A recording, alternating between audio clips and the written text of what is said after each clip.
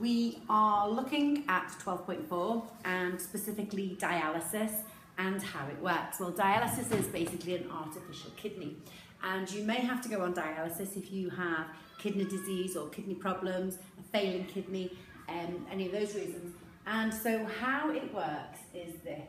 Basically, you're going to take blood from the artery. It's fed out through a tube, which is similar to the Visking tubing that you used in the last experiment. Then what happens is uh, a pump pumps the blood along within there and an anticoagulant is added. We want to stop that blood from clotting. Remember, when blood comes into contact with a rough surface, the platelets become sticky and they begin to clump together and clot the blood. So even if you take blood from somebody's arm and you, like when you go to the hospital, and you pour it into a glass cylinder, that is rough, that smooth glass uh, is rough to the blood and it will start to clot. And that's why you'll see the person taking from the blood from you looking for the right um, test tube to put your blood into because that is also coated with an anticoagulant. So the blood is pumped through the machine. We've got a large surface area here um, and of course the tubing is semi-permeable so it's going to allow uh, small substances to pass through it and keep the big substances inside. Um, it, running in a counter current manner to that, what we've got is the dialysis fluid. And we've talked about this before, how because it's running opposite, we're going to make for a more efficient diffusion um, surface. It maintains the concentration gradient along the whole length. So that's actually really important. If you're looking for a high grade, you need to be able to explain the countercurrent mechanism whereby it's more efficient because the diffusion gradient is maintained over the whole length of the tubing. Well, of course, this dialysis fluid needs to be refreshed and needs to be changed because we're relying on diffusion. Um, and so once those substances diffuse into the dialysis fluid, we need to change that. So let's have a little think which substances would diffuse out. Well, we don't want to lose glucose from our blood. So the best way to keep glucose inside this tubing, because of course glucose is a monosaccharide, it's one molecule, it's very small and it's very soluble. We want to keep it inside the blood and so the best way to do that is to put glucose in the dialysis fluid. That way there'll be no net, no overall movement of the glucose out. Salts, you might have consumed a lot of salty food and you need to remove those salts from your blood. And the best way to do that is to put salts in the dialysis fluid. Why? Because salts will move out until the concentration is the same inside the blood and outside in the dialysis fluid. So getting it to the optimum, getting it to the ideal concentration. Urea, however, won't be contained in this dialysis fluid um, because we want to get rid of that from the blood.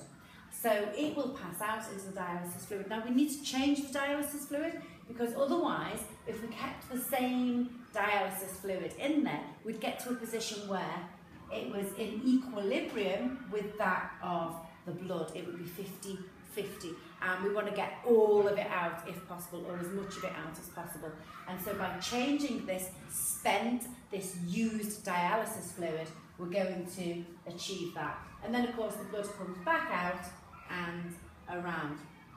You may be asked to explain that in an exam question and also simple things like being able to label this diagram uh, are important. In last year's exam I saw that they asked students for the name of the fluid that bathed the blood in this system and of course the answer was just dialysis fluid. So just looking at that countercurrent mechanism again. What we've got going on is if you had a parallel mechanism, then we're going to find that if the concentration of, say, salts solute in here was 100 and in here it was zero, then it would move across. Okay, so then we would go down to maybe 75 and this would be 25. Again, there's a concentration gradient, so the solutes would move across. So we'd go down to 50 and maybe down to 50. But at that point there, you're stuck and the remaining length of whatever exchange surface you've got, then there's going to be no net movement either way. We're going to remain with 50 and 50. It's going to stay the same. So it's not an efficient way to move substances. So this is the parallel method. If we look at the counter current method,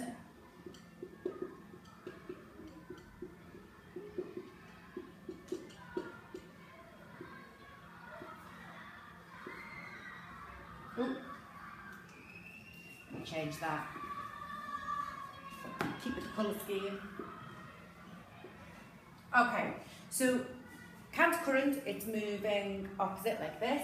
So wherever it is, it's coming in at zero there and it's going in at 100 there.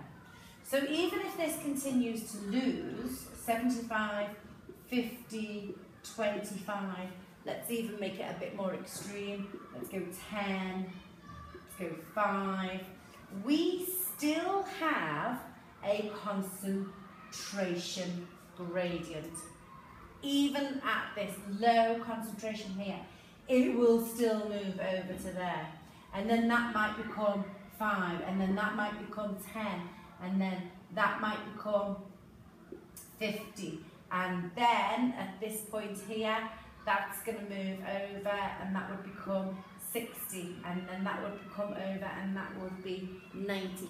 So in terms of your language, counter current flowing in opposite directions ensures a more efficient exchange and it maintains the diffusion gradient along the length of the exchange surface.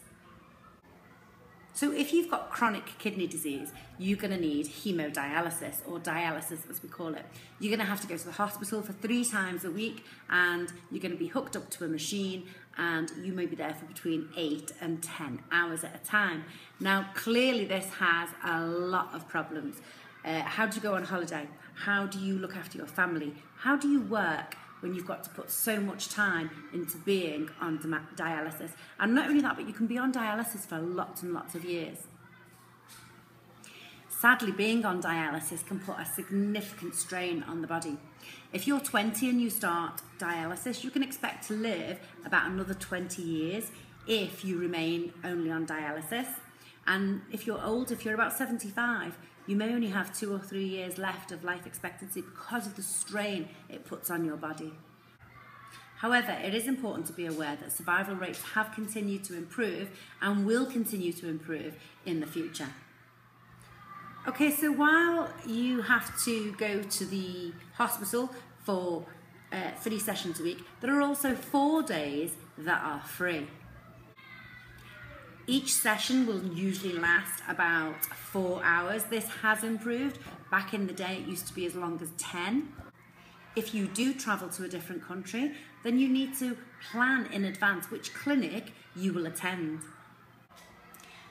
Another disadvantage is that your diet now becomes particularly important and the amount of fluid that you drink also needs to be restricted people on dialysis are advised not to drink more than a couple of uh, cups of fluid a day.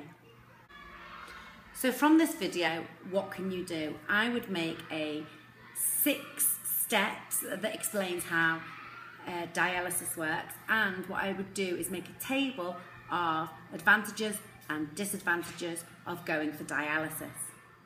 So join me in the next video where we'll consider kidney transplants and we'll also compare transplants and dialysis. We'll look at the cost implications and the lifestyle implications and we'll also go through some past paper questions to see what you could be asked in an exam.